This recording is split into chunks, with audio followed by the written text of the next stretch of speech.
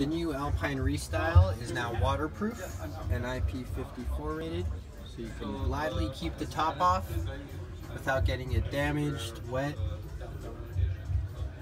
or not having it turn on the next time you turn on your car after a rainstorm.